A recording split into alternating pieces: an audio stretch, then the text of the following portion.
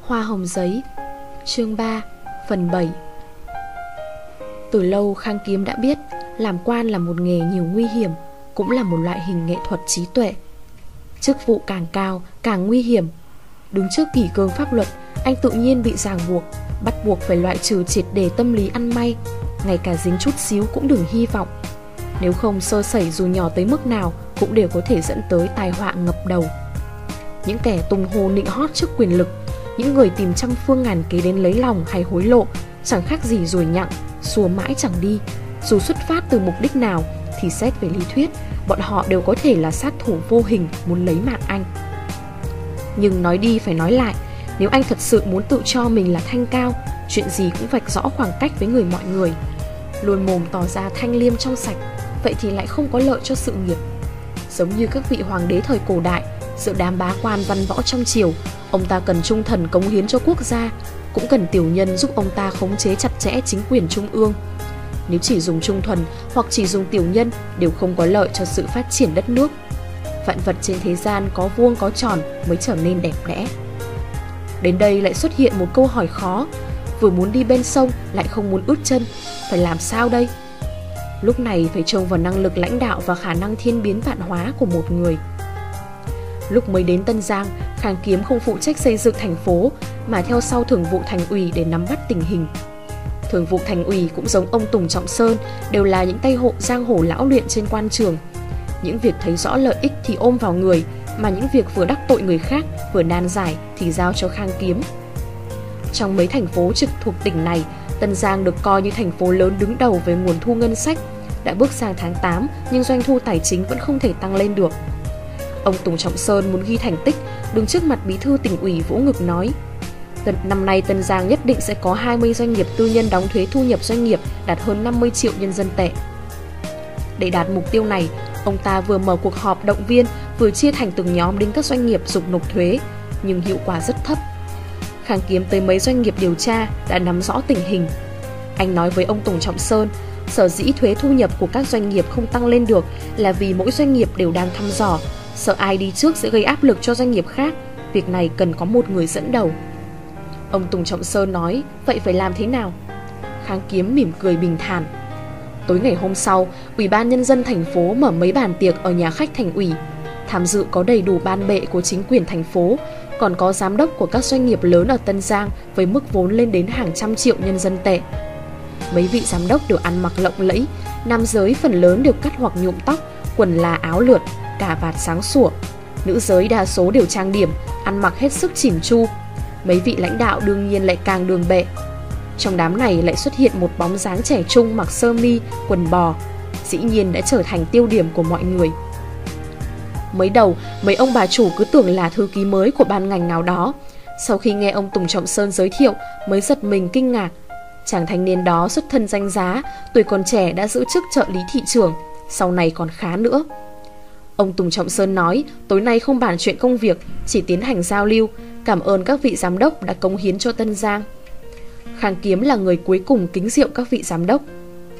Khang Kiếm mới đến Tân Giang, mong các vị chỉ giáo thêm. Nói xong anh nhanh nhẹn cạn ly trước. Trước tác phong thân mật của Khang Kiếm, mấy vị giám đốc lập tức có cái nhìn khác. Rượu quá 3 tuần, một người đàn ông trung niên béo lùn nâng ly rượu tới trước mặt Khang Kiếm. Trợ lý Khang, Tập đoàn Hoa Hưng chúng tôi hưởng ứng lời kêu gọi của anh, ủng hộ công việc của anh. 8 giờ sáng mai tôi cho kế toán mang chi phiếu đến cục thuế, trước tiên nộp 100 triệu. Nói xong ông ta gọi điện thoại cho kế toán ngay trước mặt Khang Kiếm. Người đàn ông béo lùn đó chính là Hoa Hưng, dưới chứng tập đoàn Hoa Hưng có khách sạn Hoa Hưng, công ty khai thác bất động sản Hoa Hưng, ngoài ra còn có thêm hai công ty quảng cáo. Ngày hôm sau, 50 triệu tiền thuế của tập đoàn Hoa Hưng đã vào tài khoản của cục thuế. Sau đó, các doanh nghiệp khác cũng lục tục nộp thuế vào tài khoản. Khang Kiếm đã quen Hoa Hưng trong hoàn cảnh đó. Trong lòng Khang Kiếm cực kỳ coi thường Hoa Hưng. Tốt nghiệp không cấp 2, không thèm thi vào cấp 3, lăn lộn ngoài xã hội được 2 năm thì gia đình chạy trọt nhét vào làm lính lái xe. Khi phục viên trở về, liền chạy xe đường dài với một con buôn. Núp bóng gia đình, vận chuyển hàng cấm, liều mạng vượt trạm kiểm soát. Vì thế mà nổi danh, cũng vì thế mà quen với bà vợ hiện giờ. Vợ ông ta không phải là mỹ nữ Nhưng lại mang đến vận may cho ông ta Ông ta khởi nghiệp từ bất động sản chính là nhờ vay tiền ở ngân hàng mà cậu ông cậu của vợ làm giám đốc. Hoa Hưng làm ăn cũng to gan lớn mật như khi chạy xe buôn lậu, chỉ mấy năm đã có được gia sản hàng trăm triệu. Chỉ tiếc là sự ngỗ ngược của ông ta có hạn, chưa tới 40 tuổi đã sắp thành một đám cho tàn vì ăn chơi chắc táng. Người chẳng còn chút đường nét nào, giống như một đống bột nhão, lúc nào cũng có thể chạy xệ xuống. Trong phòng làm việc của ông ta treo một bức ảnh ghép bằng máy tính. Đầu là của ông ta, thân người là của Anno Schwarzenegger, cơ bắp cuồn cuộn nhấp nhô như ngọn núi, những mạch máu nổi trên da cùng nộ nhảy nhót. Mặc dù không coi trọng Hoa Hưng, nhưng Khang Kiếm không để lộ ra mặt. Hoa Hưng là loại người rất nghĩa khí, rất biết chừng mực, biết tiến biết lui. Có một lần Khang Kiếm sốt rất cao, buộc phải vào bệnh viện truyền nước. Vừa mới nằm chưa ấm chỗ, trước giường đã bắt đầu tấp nập người thăm viếng. Y tá cũng không ngăn nổi. Khang Kiếm rất bực. Hoa Hưng không nằm trong đám người này, nhưng khi Khang Kiếm chuyển nước xong, quay về nhà khách thành ủy, đầu bếp của khách sạn Hoa Hưng đã bày sẵn canh gà, cháo ngũ cốc thơm nức, rau dưa trên bàn. Dịp lễ Tết, thềm nhà Khang Kiếm gần như bị những người đến thăm dẫm nát.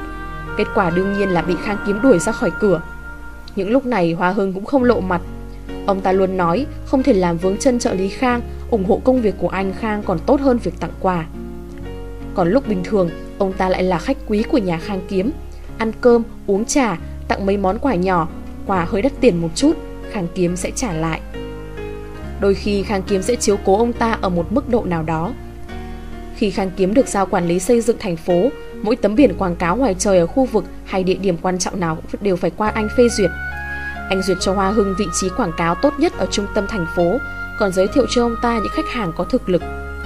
Chiếu cố nhiều, Hoa Hưng muốn báo đáp, Khang Kiếm không chấp nhận. Dần dần Hoa Hưng cảm thấy mình nợ Khang Kiếm rất nhiều. Hồi đầu ông ta cho rằng Khang Kiếm còn trẻ, có thể dễ dàng lợi dụng. Bây giờ lại bị Khang Kiếm câu cho lên không được, xuống không xong. Có lúc ông ta không khỏi băn khoăn, cái tay Khang Kiếm này đối với mình rốt cuộc như vậy là vì cái gì? Bây giờ ông ta dường như đã có câu trả lời. Đàn ông mà, hẳn là chuyện đó rồi. Anh hùng khó qua ải mỹ nhân. Hoa Hưng mỉm cười, đi vào văn phòng của Khang Kiếm. Giản đơn đang báo cáo công việc với anh, thấy Hoa Hưng đi vào, vội rót trà mời ông ta ngồi. Đối với người bên cạnh Khang Kiếm, Hoa Hưng cũng quan tâm nhiệt tình như đối với người nhà. Ông Hoa, ông ngồi trước đi, tôi đi lấy tài liệu.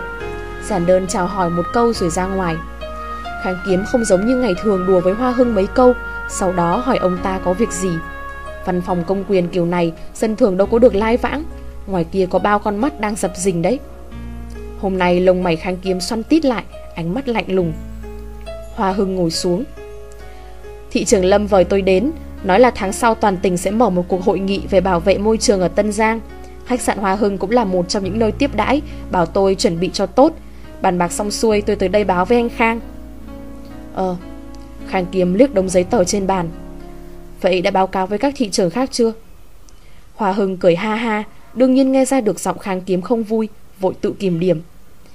Anh Khang, hôm trước tôi mạo muội tới nhà chúc mừng, đáng lẽ tôi không nên bỏ lỡ ngày vui của anh. Ai dè anh không có nhà. Chỉ vậy thôi. Khang Kiếm nhớn may liếc ông ta. Tay Hoa Hưng này không phải là đến nhà chúc mừng, hắn ta cố ý tới gặp Bạch Nhạn. Người này đã thành tinh, đầu tiên là để đi lại làm quen, sau đó sẽ tìm tới bệnh viện của Bạch Nhạn, dần ra tiếp cận cô, từ đó nắm được nhược điểm của anh. Đúng là cực kỳ sai lầm, Khang Kiếm thầm cười khẩy. Còn có thể thế nào nữa, anh Khang đúng là may mắn, phu nhân rất xinh đẹp, trẻ trung, biết đối nhân xử thế, lúc cười lại còn có hai cái lúm đồng tiền rất duyên nữa.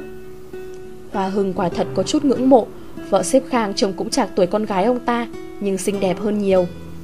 Mặt Khang kiếm càng tái, giọng nghiêm nghị. Sau này có việc gì thì gọi điện nói rõ với thư ký giản hoặc là đến văn phòng của tôi, đừng có công tư bất phân. Vợ tôi không thích tôi bàn việc ở nhà đâu. Hoa Hưng gãi đầu, cũng không tức giận. Đúng thế đúng thế, vợ chồng son chàng chàng thiếp thiếp, sao có thể để công việc làm cho mất hứng chứ? Ông còn chuyện gì nữa không? Khang Kiếm đứng dậy, đây là động tác đuổi khách. Lần trước có người họ hàng chỗ anh đến xem căn hộ, bây giờ đã lắp đặt xong xuôi, chính thức cho thuê. Đây là chìa khóa, nhờ anh Khang chuyển cho người họ hàng của anh. Nếu cô ấy thích thì mời cô đến bộ phận kinh doanh làm thủ tục. Tôi có chuyện muốn nhờ anh Khang. Tôi mua xe cho bà xã, bà ấy chê màu không đẹp. Anh Khang quen biết nhiều, xem có ai thích không, tôi muốn bán trao tay. Hoa Hưng rút trong ví ra một chùm chìa khóa đặt trên bàn Khang kiếm. Đây mới là mục đích thật sự của ông ta ngày hôm nay. Khang Kiếm khẽ nhắm mắt Tôi sẽ để ý Trong lời còn có ý khác Anh Khang Nghe nói việc cải tạo thành cũ sắp bắt đầu gọi thầu bên ngoài. Tập đoàn Hoa Hưng của chúng tôi có thể tham gia không? Đương nhiên, các ông có thể thế mạnh về xây dựng như vậy Hoàn toàn có thể dự thầu. Những gì cần nói, cần nhắc đến đều đã xong xuôi. Hoa Hưng cười khùng khục, chắp tay với Khang Kiếm. Được rồi, vậy anh Khang làm việc đi, tôi không quấy rầy nữa, cáo từ. Hoa Hưng vốn lùn, lại khom lưng, người lại béo, lăn ra ngoài như võ đại lang. Khang Kiếm tiễn ông ta ra tận cửa, sau đó quay người vào. Anh ngồi trên ghế, dịch giấy tờ sang một bên, cầm chùm chìa khóa, lông mày nhíu lại. Một lúc sau anh đứng dậy Đi ra khép cửa Bước tới cửa sổ Rút điện thoại ra bấm nhanh mấy số. Đồng đồng Em có ở trường không? Em không ở trường thì còn ở đâu? Sao bì được với anh? Lên trời xuống đất Sức thần nhập quỷ. Giọng y đồng đồng rất bình tĩnh. Trong sự bình tĩnh ấy ẩn chứa một vẻ oán trách. Cuối tuần vừa rồi gọi cho anh mười mấy cú điện thoại. Anh mới nghe một cú Lại còn đang ở đào sang tâm. Khang kiếm nhún vai. Chiều mai có tiết không? Có một tiết, có chuyện gì không? Ừ, anh muốn gặp em. Anh có thể sao? Anh không về với vợ hiền của anh à? Y đồng đồng chua chát hỏi. Mấy giờ em đi được? 5 giờ được không? Sếp Khang quyết định rồi. Ai dám nói không được? Vẫn đến quán cà phê đó. Vâng. Câu này y đồng đồng kéo dài giọng, Nghe dịu dàng như nước, Mềm mượt xa xăm. Chập tối, Khang kiếm về nhà.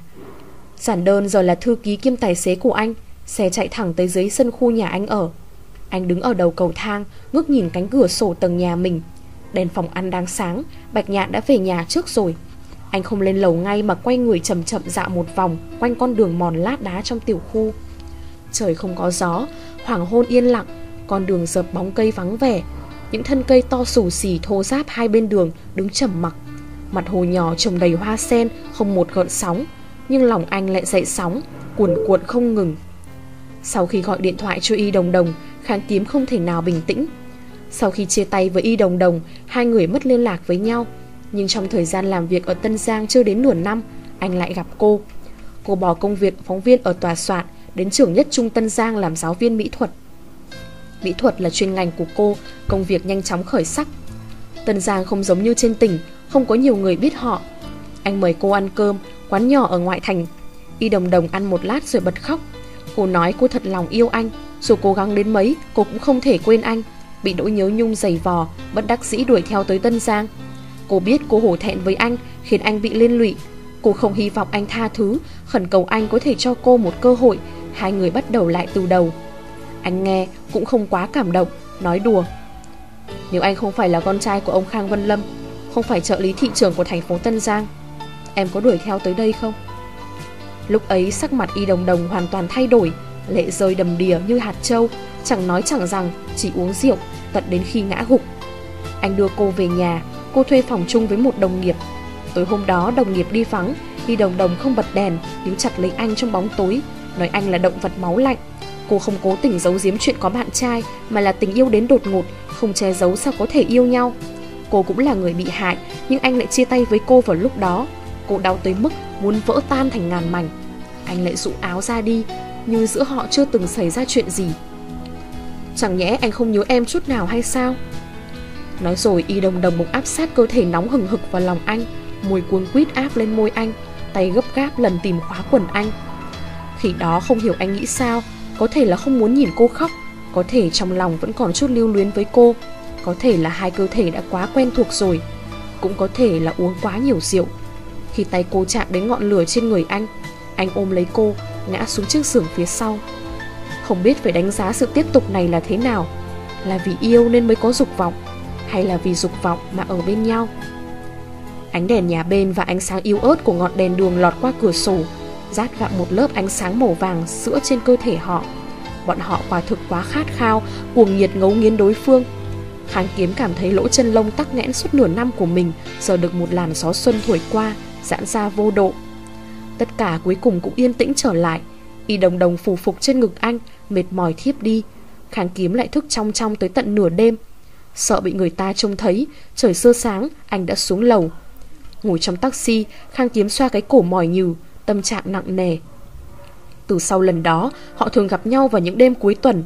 Có khi cùng ăn cơm, có khi cùng uống cà phê, có khi qua đêm trong khách sạn, bởi vì nơi họ ở đều không thích hợp để chơi trò tình ái.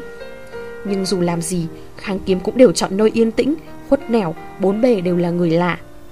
Y Đồng Đồng từng nghi hoặc hỏi anh, rốt cuộc anh có yêu cô không? Có phải cô không xứng với anh không? Đồng Đồng, trước đây anh đã từng nói với em rồi, anh sẽ không kết hôn với ai hết.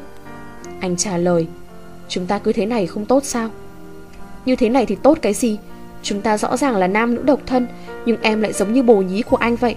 Em muốn kết hôn, muốn mình có con. Y Đồng Đồng cười khổ. Anh không tin vào hôn nhân, không tin trong tình yêu trai gái lại có thể giữ được sự trung thủy tuyệt đối Anh không muốn lừa dối em Em không thể chấp nhận Anh có thể hiểu được Anh nhìn vào mắt cô Nét mặt lạnh lùng Y đồng đồng thỏa hiệp Hôn nhân chỉ là một hình thức Nếu anh chỉ yêu một mình em Chúng ta cứ thế này vậy Hai người tiếp tục ở bên nhau Tiếp tục gặp gỡ Ăn uống cơm, uống trà Làm tình ở những nơi không người quen biết Thỉnh thoảng Y Đồng Đồng sẽ vì chuyện của bạn bè hay người thân mà đến nhờ anh giúp đỡ. Trong phạm vi có thể, anh đều đáp ứng. Anh cũng sẽ tặng hoa, quần áo, đồ trang sức cho Y Đồng Đồng, giống như những người đàn ông cưng chiều bạn gái khác. Kháng Kiếm hình như từ trước tới nay chưa bao giờ nói yêu em. Có lúc Y Đồng Đồng sẽ quân lấy anh hỏi. Anh thản nhiên liếc cô, buông ra hai chữ, trẻ con.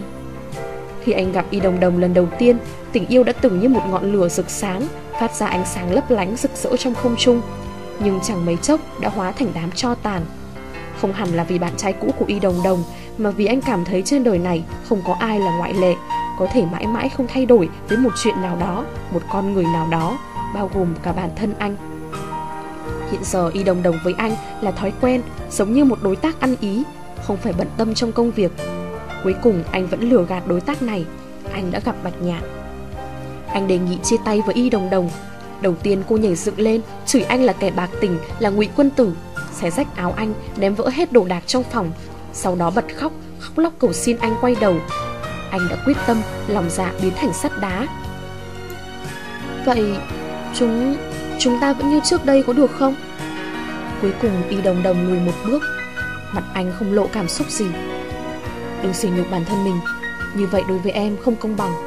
Em mặc kệ, chỉ không cần mất anh. Tự trọng là cái quái gì chứ? Khang kiếm, có được không anh? Anh im lặng không đáp. Y đồng đồng bắt đầu oanh tạc điện thoại của anh. Anh buộc phải thường xuyên tắt máy. Cô nhắn tin Anh kiên quyết không trả lời. Đối với anh Anh thật sự hết sức tuyệt tình. Đêm trước lễ cưới Y đồng đồng gửi cho anh một tin nhắn. Khang kiếm Từ ngày mai anh đã là chồng của người khác Đêm nay chúng ta gặp nhau một lần. Sau đó em sẽ dần quên anh đi. Nếu anh không đến Em sẽ nhảy từ tầng 14 xuống. Anh vội chạy tới khách sạn mà cô đã thuê Đẩy cửa. Cô như một nàng tiên ca bóng loáng Cơ thể trần chuồng nhào tới Kiểu diễm, mê hoặc, ánh mắt lấp lánh. Khang kiếm, Đêm nay anh là của em. Anh mềm lòng, Đưa tay ra ôm cô vào lòng. Lúc chia tay, Hai người giao hẹn miệng với nhau, Sau này làm bạn bè bình thường. Em vẫn có thể gọi điện cho anh chứ? Trong ánh nắng mai mỏng manh, Y đồng đồng quấn mình trong chăn, Góc chăn tuột xuống, Lộ ra bờ vai trắng mịn. Đương nhiên, Anh nhét lại góc chăn cho cô, Mặc quần áo, Vội vã rời đi. Thực tế chứng minh Giao ước miệng chẳng hề có tác dụng. Sau lễ cưới Khi Y đồng đồng gọi điện cho anh Hơn nửa thời gian là khóc lóc Nửa còn lại là nhớ lại những kỷ niệm trước đây. Hơn nữa thời gian gọi điện cũng bất kể đêm ngày Bất kể hoàn cảnh. Nhấc máy muộn cô sẽ nhắn tin Giọng điệu bi quan tuyệt vọng Chán ngán sự đời. Anh không yên tâm lại chạy tới.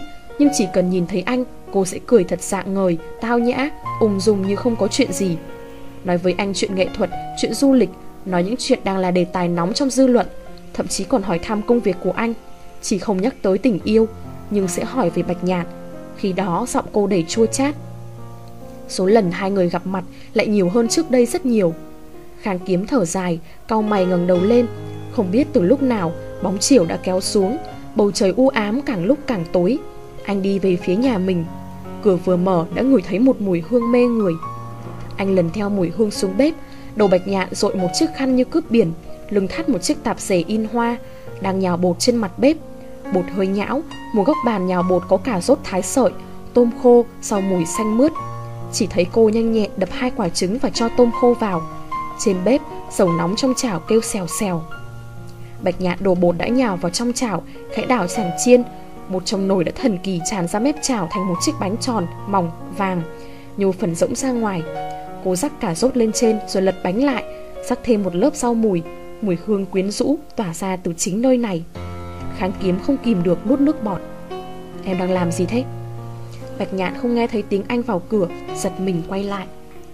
Anh là ma sao? Làm em giật cả mình. Kháng kiếm giơ tay vỗ đầu cô. Bây giờ ấy còn sớm, Ma chưa ngủ dậy đâu. Đây là món gì thế? Bạch nhạn tắt bếp, Lấy sẻng làm dao cắt cái bánh thành mấy phần. Đặt lên đĩa Xanh đỏ vàng trắng Đẹp mắt lại ngon miệng Cái này hả? Đây là món tuyệt chiêu bí truyền do Bạch Nhạn sáng tạo ra trên cơ sở món bánh trứng của huyện Vân. Đi rửa tay đi. Bạch Nhạn đẩy Khang Kiếm. Đây có lẽ là bữa ăn ngon miệng nhất của Khang Kiếm. Cháo lúa mạch trộn gạo ninh nhừ, đun ấm ấm, vừa thanh nhiệt vừa mát họng. Dưa hấu cắt lát mỏng, rau trộn kỳ tử, đậu phụ chiên trứng muối, cộng thêm món tuyệt chiêu bí truyền của Bạch Nhạn. Khang Kiếm cũng không khó tính trong việc ăn uống lắm. Ông Khang Vân Lâm và bà Lý Tâm Hà đều không biết nấu cơm, Người giúp việc trong nhà lại là người Đông Bắc Chỉ có thể nói là biết nấu cơm cho chín Những cái khác không thể đòi hỏi. Lúc đi học ở căng tin Đi làm rồi đi quan hệ xã giao Tiệc nọ tiệc kia Cao lương mỹ vị Món Bắc món Nam Cơm Tây cơm ta Cái gì cũng đều nếm qua Nhưng Khang Kiếm chưa từng đặc biệt nhung nhớ món nào. Nhưng bây giờ anh nhìn miếng bánh cuối cùng trên đĩa Không kìm được bắt đầu mong mỏi lần sau Bạch Nhạn tiếp tục trổ tài tuyệt chiêu bí chuyển. Sếp thấy có ngon không? Bạch nhạn cười ngọt ngào, Đẩy cái đĩa đực bến bánh trước mặt anh. Anh gật đầu một cách khẳng định. Bạch nhạn nhìn anh, Càng cười như con mèo vớ được miếng cá rán. Sao em lại cười như thế? Anh bị cô nhìn tới mức nổi cả da gà. Sếp có biết không? Không phải anh đang ăn bánh, Mà là trái tim yêu thương của em. Em sợ sếp ăn đồ ở bên ngoài nhiều dầu mỡ, Sợ anh chưa già đã bị huyết áp cao, Mỡ máu cao. Em lao tâm khổ tứ, Nấu bữa tối vừa ngon miệng vừa bổ dưỡng này. Chỉ vì sếp thôi đấy. Anh nói xem, Cưới được người vợ như em có phải là phúc ba đời không? Cô lắc lư chiếc khăn trên đầu, Chống tay dưới cằm, Hàng mi dài hấp háy. Đôi mục đũa đang định gắp bánh của Khang Kiếm Bỗng dừng lại giữa không trung. Sao thế? Anh nghiêm chỉnh trả lời. Miếng trái tim yêu thương này anh sẽ giấu thật kỹ. Giấu ở đâu? Ôm trong lòng, sẽ tan ra mất. Cho vào tủ lạnh, sẽ biến chất mất. Vậy Ăn vào mồm anh là an toàn nhất. Bạch Nhạn trả lời giúp anh. Vì cảm kích trái tim yêu thương của Bạch Nhạn, Khang Kiếm chủ động đề nghị rửa bát. Xếp à Đậu phụ để tới ngày mai sẽ chua mất, Đổ đi thôi. Dương lạnh muối phải bọc bằng màng bọc thực phẩm Rồi mới cho vào tủ lạnh. Nồi để ráo nước rồi mới cho lên bếp, Nếu không sẽ gì đấy. Bát phải lau khô từng cái một rồi mới cho vào tủ bát. Khăn lau dùng xong phải giặt sạch phơi khô. Bạch nhạn dặn dò xong xuôi rồi mới đi lên lầu tắm rửa. Khang kiếm vùi đầu vào chậu nước than thầm. Rốt cuộc là ai đang lãnh đạo ai đây? Sếp ơi! Người vừa lên lầu lại hùng hổ chạy xuống. Vì em hết tiền rồi, Trời nóng thế này em không muốn ra ngân hàng rút. Anh có không? Cô đưa cái ví lép kẹp dưới trước mặt anh, Môi dầu ra. Ví tiền ở túi sau quần anh, Em tự lấy đi. Hai tay khang kiếm bám đầy bọt xà phòng, Không đưa ra được. Bạch nhạn dịu dàng cong khóe miệng, Lấy ví tiền ra rút vài tờ. Thẻ lương của sếp ở chỗ em Thế tiền này ở đâu ra? Cướp đấy. Khang kiếm lườm cô. Cướp ở đâu? Có chuyện tốt vậy sao? Ngày mai dẫn em đi với. Sao phải đợi tới mai? Lát nữa rửa bát xong, chúng ta đi luôn. Bạch nhạn làm mặt hề sau lưng anh. Vậy chúng ta sẽ trở thành vợ chồng đạo tặc kiểu Trung Quốc. Lắm điều quá, Còn không đi tắm đi. Khang kiếm cười, Không nhận ra giọng mình yêu chiều biết bao nhiêu. Vâng thưa sếp. Bạch nhạn cười khanh khách, lại chạy lên lầu. Tắm táp xong xuôi Kháng kiếm cũng tắm xong ở nhà tắm tầng dưới. Bạch nhạn bê đĩa nho rửa sạch, Ngủ trên sofa bật tivi. Khang kiếm lưỡng lự một lát, Đi tới ngồi xuống bên cạnh cô. Hôm nay sếp không phải lo việc nước à? Bạch nhạn chớp mắt. Hôm nay thiên hạ vô sự. Khang kiếm ngắt một quả nho bỏ vào miệng. Vậy cùng xem tivi với em. Bạch nhạn nhích sang, Ôm cánh tay anh, Ngả đầu lên vai anh. Bạch nhạn, Em dọn dẹp phòng ngủ cho khách đi nhé. Thứ hai tuần sau mẹ anh tới ở một thời gian. Bạch nhạn sững người Vội ngồi thẳng dậy. Thứ hai tuần sau Vậy chẳng phải là gia đình sum vầy sao? Vậy hỏi điện cho bố anh bảo ông cũng cùng tới luôn. Giọng khang kiếm bỗng lạnh hẳn đi. Ông ấy bật Này sếp ơi Em hơi căng thẳng. Căng thẳng cái gì? Con dâu xấu phải gặp mẹ chồng mà. Sếp à mẹ anh thế nào? Không đẹp bằng mẹ em. Khang kiếm liếc bạch nhạn Trong mắt thoáng một tia căm hận, lạnh lẽo. Người như mẹ em trên đời chẳng có mấy. Bạch nhạn cười nhạt. Em đắc ý lắm sao? Bạch nhạn quay đầu sang, Đưa tay vén tóc anh. Xếp học đại học ở Tứ Xuyên đấy à? Nghe nói thật chuyển sắc mặt ở đó rất lợi hại. Khang kiếm thiếu điều không thở nổi. Bạch nhạn, Anh nghiến răng nghiến lợi. Bạch nhạn cười khúc khích. Xếp à Em với mẹ em, Cái cắt đứt được là cuống rốn, Cái không cắt đứt được là tình máu mủ. Cô nói như đang kể trong mắt toát lên vẻ bất đắc dĩ và nét u buồn. Nhưng cô quay mặt đi, Khang kiếm không nhìn thấy. Vẻ cứng ngắc trên khuôn mặt khang kiếm dần thả lòng TV đang phát tin buổi tối, Phát thanh viên mặt mày nghiêm trang, Nói GDP tỉnh nào đó tăng trưởng bao nhiêu, Sản lượng lương thực tỉnh nào đó có triển vọng đạt được bao nhiêu vạn tấn. Bạch nhạn không nhịn được ngáp một cái. Dê à Mình nói chuyện đi. Cố hích khang kiếm đang chăm chú nhìn vào màn hình. Nói chuyện gì? Tối mai anh có về nhà ăn cơm không? Anh Tối mai có hẹn với một người bạn. Ánh mắt khang kiếm không tập trung vào màn hình nữa Mà nhìn vào bạch nhạn. Vâng Bạch nhạn lại ngáp. Em không tò mò là bạn nào sao? Lông mày khang kiếm bất giác xoăn tít lại. Anh thì có thể có bạn như thế nào? Lục địch phi Nếu không thì lại là ông trưởng ban này Ông tránh sở nọ Đầu như sân bay, bụng như đỉnh núi. Anh không thể có bạn khác giới hay sao? Có Nghề của anh cùng tầng lớp với anh. Toàn người đáng tuổi gì anh hoặc mẹ anh. Cạnh tranh với đàn ông Chẳng kém cạnh gì cánh mày dâu. Vẻ tự tin của kháng kiếm xẹp xuống. Em cho rằng bên cạnh anh không có phụ nữ trẻ trung xinh đẹp. Có thì đã sao? Bạch nhạn buồn ngủ tới mức Hai mắt díp chặt Gối đầu lên tay anh. Trên mạng đều nói lấy chồng phải lấy công chức nhà nước. Công chức nhà nước chịu nhiều áp lực Môi trường tương đối tốt Có học lực, có lý trí. Cuộc hôn nhân như thế đem lại cho người ta cảm giác an toàn. Anh là sếp của công chức nhà nước Tố chất lại càng càng càng cao. Em tin tưởng sếp vô điều kiện. Hơn nữa em cũng có lòng tin với bản thân mình. Em chấm nhân phẩm của sếp nên mới cưới. Nếu không còn lâu em mới để mình chịu thiệt như thế này. Thực ra sếp phải lo lắng về em. Bệnh viện là nơi như thế nào? Dài xinh gái đẹp, nho nhã lịch thiệp Phong độ ngời ngời. Có môi trường, có thời gian để tạo ra các vụ scandal.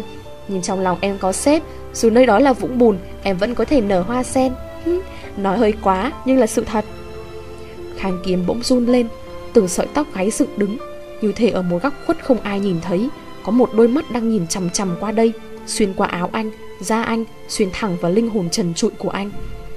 Sếp nóng lắm sao? Bạch nhạn sờ bàn tay đẫm mồ hôi của anh. Ờ, Hơi, hơi hơi. Vậy sếp bật nhỏ điều hòa đi một chút. Em đi ngủ trước đây. Cô dụi mắt đứng dậy Hôn má khang kiếm. Mơ màng đi lên trên lầu. Cẩn thận Khang kiếm cẩn thận đỡ bạch nhạn Đang suýt nữa va vào lan can. Đi từng bậc một thôi, đừng vội. Anh ôm eo cô. Sếp nhà em thật chu đáo. Bạch nhạn nhắm mắt lại dựa vào người anh. Khóe miệng kháng kiếm không ngừng co giật. Chúc sếp ngủ ngon. Trước cửa phòng ngủ Bạch nhạn vẫy tay đóng cửa. Kháng kiếm nhìn chằm chằm cánh cửa đóng chặt Cắn môi Bỗng thèm hút thuốc. Anh chạy thình thịch xuống lầu. Đêm khuya yên tĩnh Ngoài trời gió nổi Thổi vào người mát lạnh. Anh châm thuốc Xít mạnh mấy hơi Nghĩ tới bà xã đang nằm trong phòng ngủ.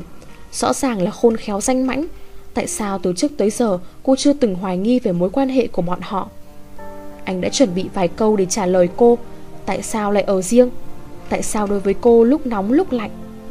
Đôi khi anh cảm thấy mình rất kỳ quặc Nhưng cô lại thích ứng nhanh hơn anh rất nhiều Gần như là lấy làm vui vẻ. Cô trêu chọc, cô nũng nịu, cô cười cợt. Như mưa hoa ngày xuân Lại như chiếc kim trong gối. Lúc cười nói cũng có thể biến vũ khí thành tơ lụa. Còn anh như ngắm hoa trong sương mù. Hoa còn chưa thấy đã lạc đường trong sương. Bạch nhạn như vậy không phải là điều anh mong muốn. Anh muốn cô yêu anh sâu sắc Si mê anh, sùng bái anh, phục tùng anh vô điều kiện. Giống như cô là con diều bay trên trời Nhưng dây diều lại nằm trong tay anh Vĩnh viễn không vượt ra khỏi lòng bàn tay anh. Nhưng bây giờ hình như vai trò đã âm thầm đảo ngược. Vấn đề là ở chỗ nào? Rõ ràng mỗi bước đi đều không sai lầm, Càng nghĩ càng không lý giải nổi. Khang Kiếm lại có một đêm chằn chọc mất ngủ, Trong phòng điều hòa để rất thấp.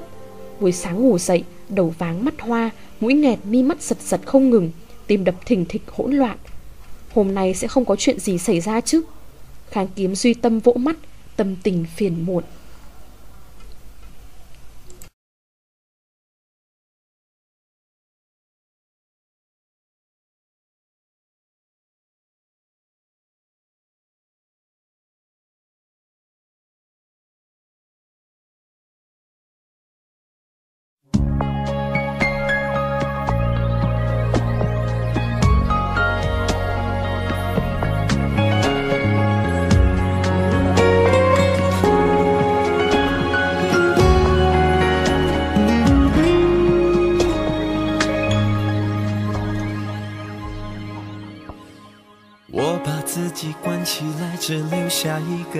台。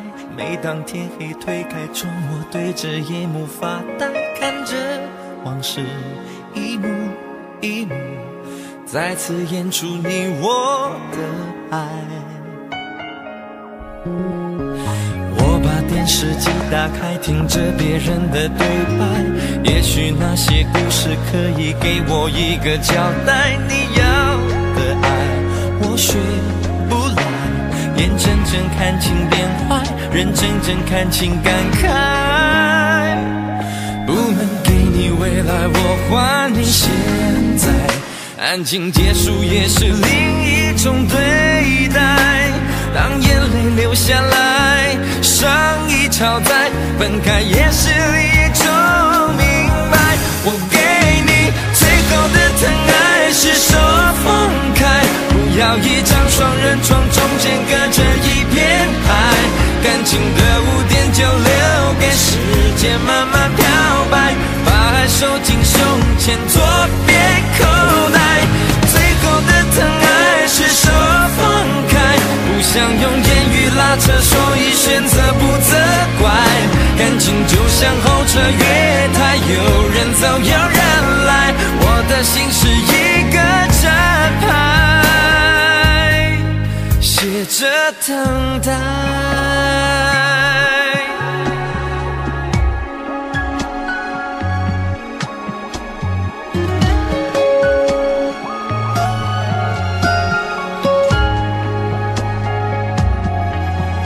不能给你未来，我还你现在。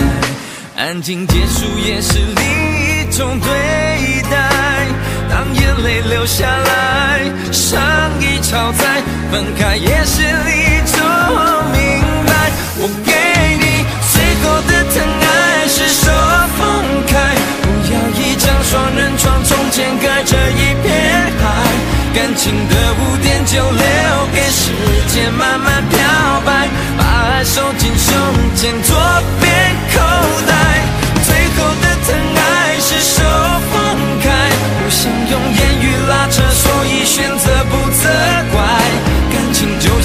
这月台，有人走有人来，我的心是一个站牌，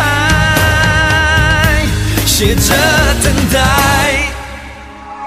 最后的疼爱是说放开，不要一张双人床，中间隔着一片海。感情的污点就留给时间慢慢漂白，把爱收进胸前